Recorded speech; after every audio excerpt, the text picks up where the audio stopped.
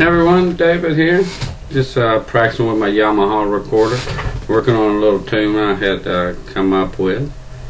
I have two of them. And this is the first one. Uh, I only play one. Hopefully I get it right.